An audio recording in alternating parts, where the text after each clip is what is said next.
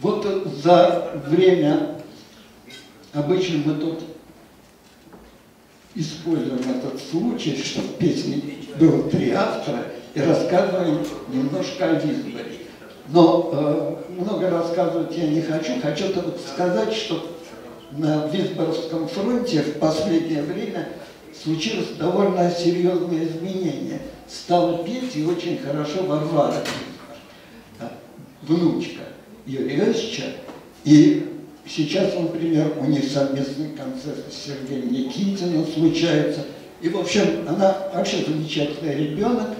И и мне это особенно приятно, потому что я ее матушку, Татьяну Визбор, видел младенчиком.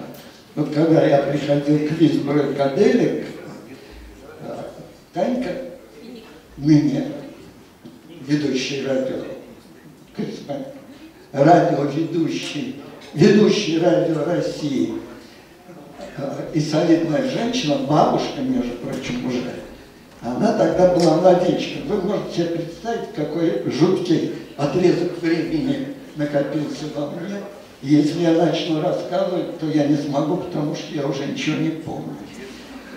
Э, и ну, я сейчас прочитаю стихотворение, посвященное одному из этапов нашей вот этой совместной жизни, в которой Висбор то и дело женился и разводился, а я должен был, как бы, служил при этом летописцем.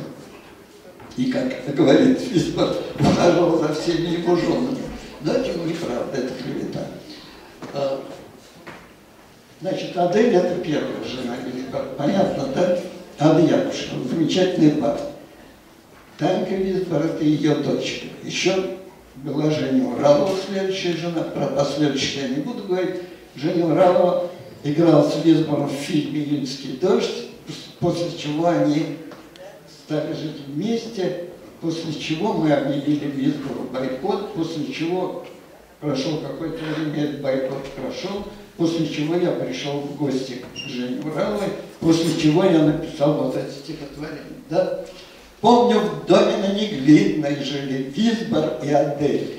Дом был сумрачный, длинный, неуютный, как отель. Дверь к начальнику культуры все время на посту, а другая дверь к Аделе, третья вовсе в пустоту. От того, что без начальства нам культурно жить нельзя, приходили очень часто, но не длинную друзья. Гостя парочка встречала, и к столу его вела, и гитарочка звучала над клееночкой стола. Пили чисто, жили просто на какие-то шиши. Было жанра первородства, три аккорда, две души. На неглиной Адели, где игрушки на полу, пили ели, песни пели, дочь спала в своем углу, а теперь живет богато, Визбор вечно молодой, не с Аделью, как когда-то, с молодой кинозвездой.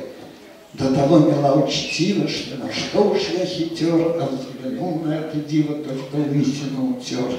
Я присел на стуле чинно и услышал.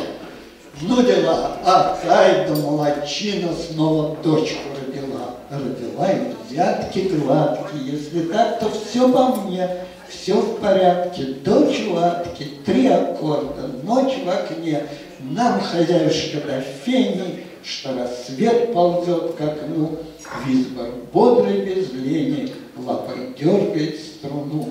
Плоть умри, душа воскреснет, Пой нам визбор, старый дед, Ведь от песенной болезни Нам не выздороветь нет.